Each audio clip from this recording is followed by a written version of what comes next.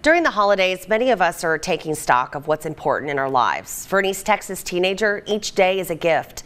East Texas News Lane Luckie finds out how playing softball helped her understand the power of prayer.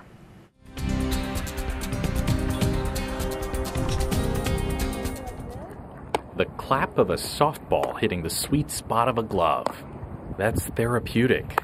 It's how Addison Babbs keeps each day as normal as possible. She has somewhat of a secret deep mm. inside the right side of her brain. I usually feel it like right here, or mainly like right here.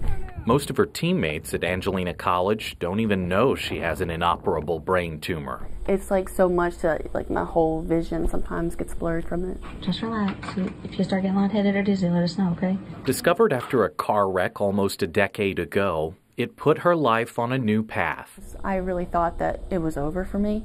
So I knew that if I, something was going to happen to me, I wanted to go to heaven. Even though doctors say she may only live to 25, Addison doesn't seem concerned with timelines. God's there for me and He's going to get me through it, so why do I have to worry about what's going to happen today or tomorrow? And it just kind of gives me the little the push that not many people who have a brain tumor and all these health problems get to do what I get to do every single day.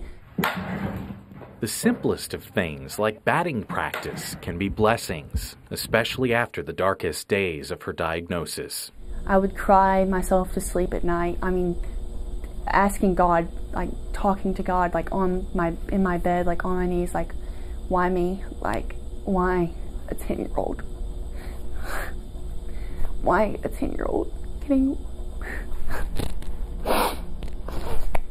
even when she doesn't have that answer, her mom, Angel, has been there to keep her grounded in wisdom. We don't realize what God is doing often right there and then and there in the moment, but later we do realize that He has His hands in everything. And the hard times and the difficult times and the doctor's visits and hospital stays, sometimes that's to a much greater picture that's waiting for you down the road.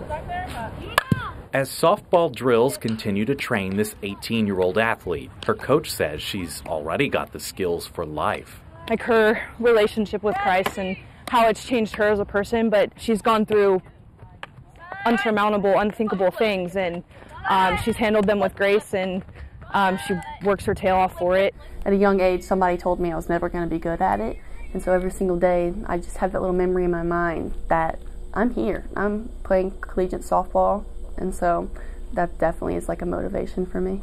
This love of the sport is her love for life. Never count her out. Lane Luckie, East Texas News Midday. Addison is finishing her first semester at Angelina College. She and the Lady Roadrunners have their next game at home in Lufkin January 29th, and we wish her well. We'd love to hear how the power of prayer has impacted your life. To share your story with us, use your smartphone's camera to scan the QR code right there on the bottom left of your screen, or head to kltv.com or ktre.com. Click on the community tab to find our Power of Prayer page.